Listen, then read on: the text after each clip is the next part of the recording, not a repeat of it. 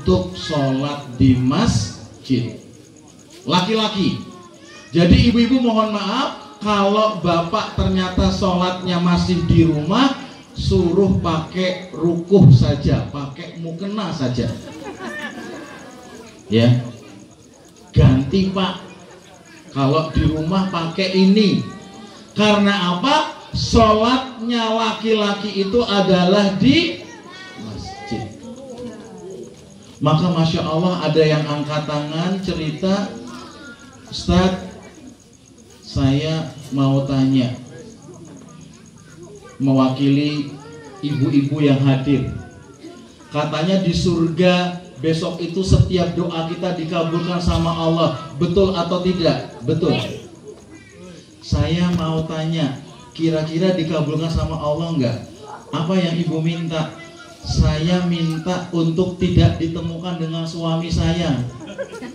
Yang di dunia.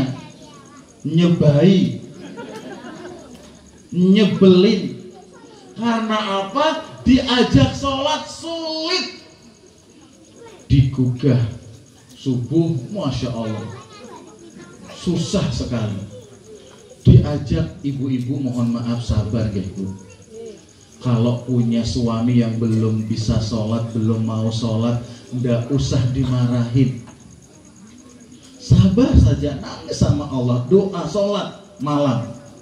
Ketika ibu nanti, masya Allah, dengan izin Allah, bapak itu mau sholat, maka ketika mulai sholat itu sampai nanti bapak Allah panggil, sholat subuhnya itu mengalir terus ke ibu seperti itu. Menjadi amalan jariah. Maka sabar. Kalau bapak-bapak juga mohon maaf belum sergap juga diajak ngaji ndak apa-apa nggak usah dimarahin. Burung oke. Bapak orang ngaji pokok ayo